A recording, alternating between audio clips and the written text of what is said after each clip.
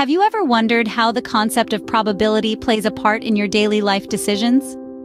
It's more than just a mathematical theory. It's a practical tool that can help us make informed decisions and predict outcomes in a variety of situations. From deciding whether to pack an umbrella based on the weather forecast, to playing a game of poker, probability is woven into our lives. So how exactly does this work? Let's delve into a story that highlights how understanding probability can be a game changer. Meet Jane, a student who loves to make informed decisions. Jane has a knack for numbers and a particular fondness for understanding probability. One day she's getting ready for school, and despite it being a seemingly clear day, the weather forecast predicts a 30% chance of rain. Now, some might ignore this thinking, 30%, that's less than half, right? But not Jane. Jane understands that probability is more than just a simple percentage. It's about outcomes and likelihoods, and in this case, it's about potentially getting wet.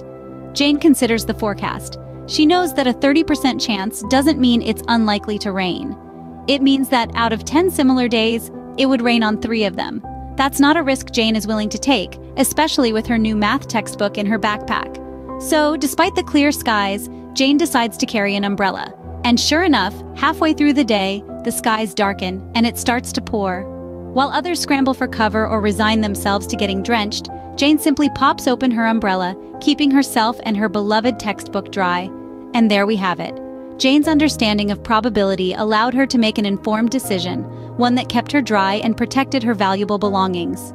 Jane's knowledge of probability saved her from an unpleasant situation, didn't it?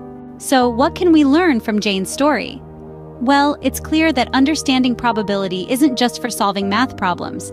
It's a tool we can use to navigate our everyday lives. Jane's story highlighted how she used probability to make informed decisions, turning uncertainty into something manageable. Just like Jane, we can apply the concepts of likelihood and chance to various situations, from deciding whether to carry an umbrella based on the forecast to making strategic moves in a game of chess. It's all about evaluating the possible outcomes and choosing the most favorable option. In essence, probability provides us with a framework to deal with uncertainty. It helps us to predict the outcomes of events and to make decisions that are in our best interest.